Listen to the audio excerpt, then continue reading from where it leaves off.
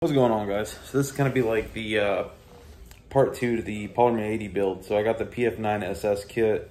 If you're familiar with my last video, um, this is more of like just where we're at now, just kind of trying to document the process essentially.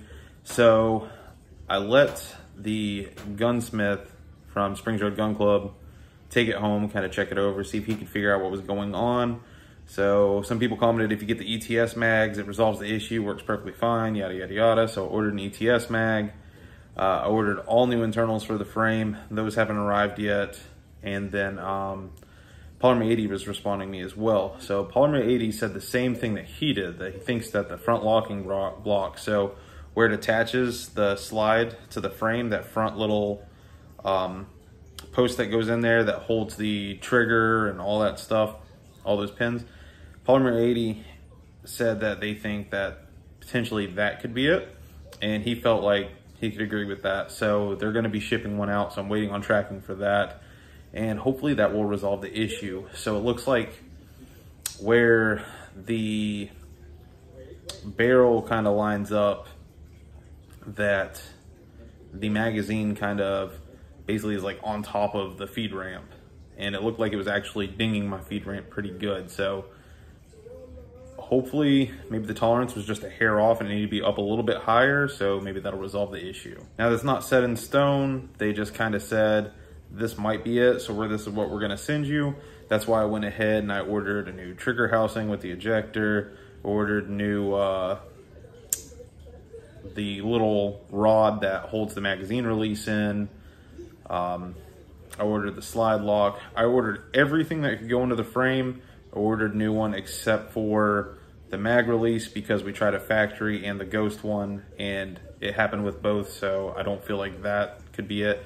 I ordered everything else so hopefully we will get an answer of what exactly was causing this issue. We did get the new ETS magazine. It did not work. I ordered the seven round one. Even the packaging it came in said seven round, but I could only fit six rounds. I tried real ammo. I tried snap caps. I tried a different type of snap cap. It's only fitting six rounds. Don't know why. So I guess I'm just very unlucky. I seem to get a lot of uh, things that aren't operating quite as they should. The Apex trigger, which they sent a new one out. That's awesome really good customer support on that one. Polymer 80 seems to have pretty good customer support right now. Still kind of testing the waters with that one, but they seem to actually stand by their product pretty good. And I mean, who knows? It might have been something I did wrong that's causing this issue, but they seem to be, you know, replying when they can. They've got just a mass amount of orders and stuff right now, so they're doing it, you know, when they can, because I'm sure I'm not the only person that's calling them. When you mass produce something like that, you're going to have things with failures. It's just part of uh, part of the game. So hopefully we get it resolved and I get an answer for y'all. Hopefully this video was informational to you and maybe gives you something to check out if you were having issues. Altogether, it does feel great. So I do want to tell you, if mine was just kind of a fluke coincidence, it is a pretty awesome frame. So if you've got a 43 and you're looking to have like a front rail and better grip and stuff like that, this is definitely an awesome feeling and shooting frame. Just got to get that magazine to stay in. All right, other than for that, Springs Road Gun Club, August 15th. I think I said 11th on my last video, and that was wrong. I believe it's the 15th.